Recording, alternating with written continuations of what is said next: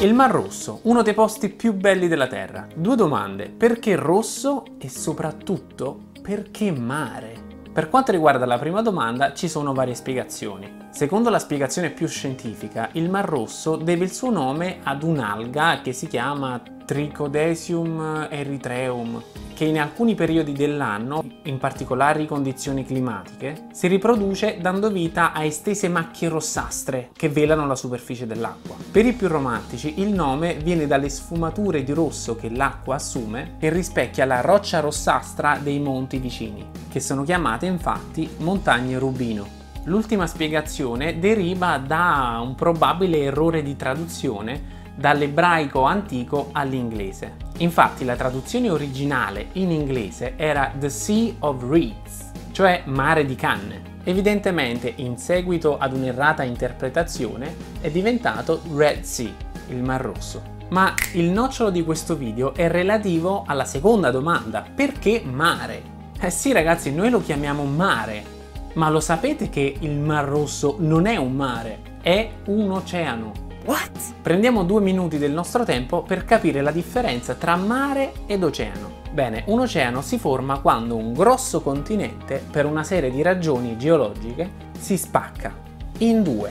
Le due parti, che ora saranno due continenti separati, divergeranno, cioè si allontanano tra di loro. Nell'allontanarsi al centro si verrà a creare una depressione, in questo caso possiamo chiamarla frattura, anche se geologicamente non è corretto, però qui per capirci va bene.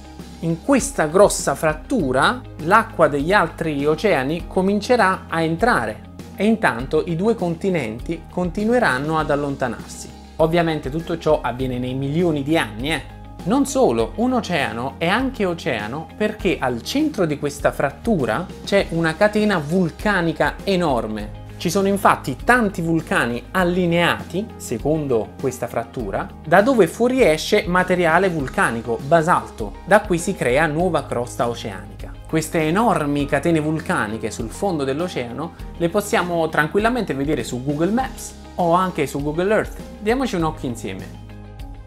Prendiamo in esempio l'Oceano Atlantico. Se zoomiamo al centro dell'oceano, possiamo vedere una serie di segmenti che vanno da sud a nord. Sembra un po' una grossa cicatrice.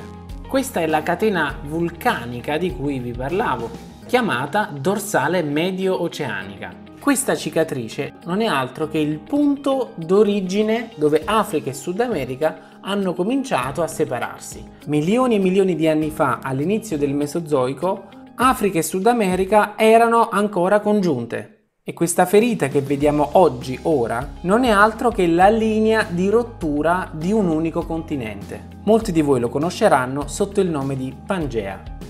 Quindi l'oceano è il risultato della divisione di un continente e dove al centro, sul fondale marino, ci sono dei vulcani da cui fuoriesce nuova crosta oceanica. È un qualcosa di incredibilmente dinamico, di vivo, si muove. Ritornando al discorso del Mar Rosso, perché il Mar Rosso è un oceano?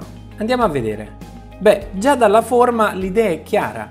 Visto dall'alto, il Mar Rosso è una ferita segue una linea piuttosto rettilinea e al centro del Mar Rosso possiamo seguire un'altra dorsale medio oceanica. Anche da qui fuoriesce materiale vulcanico, quindi nuova crosta oceanica.